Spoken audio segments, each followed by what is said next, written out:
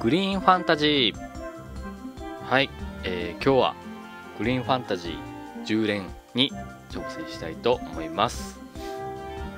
今回から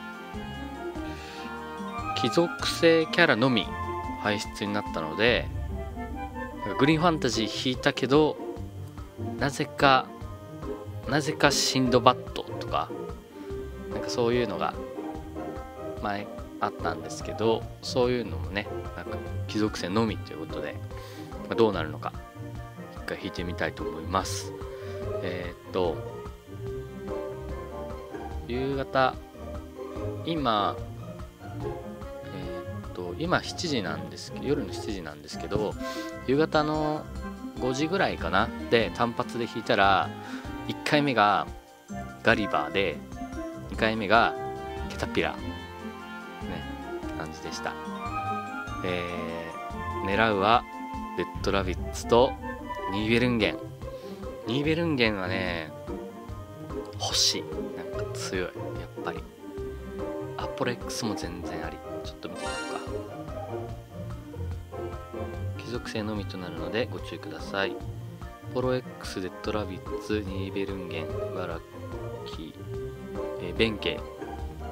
これね、持ってないのが、その弁慶この上の5体だったら僕弁慶は持ってるんですけどあと持ってないんですよね。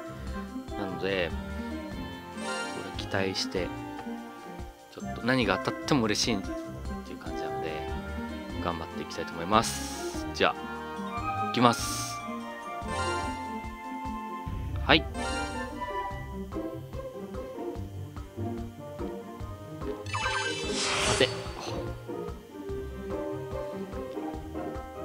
バレーと。確定はなしですね。じゃあちょっとサクッといきたいと思います。けさてどうなる？止まれば。おいきなり？あー。なるほど。失礼します。三国志のやつね。酒飲んでる。なんか靴とんがってる。強そう。次。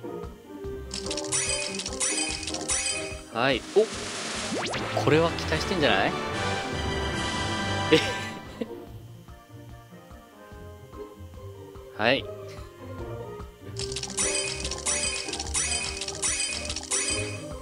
うわ。最後に来たえー、っとアルミラージが初めて。これなんて読むんだ？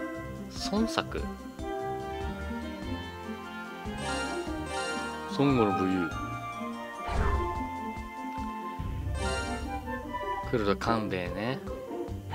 もうめっちゃ出たわこいつも。ヘラクレス。ヘラクレス2体目という結果に終わりました。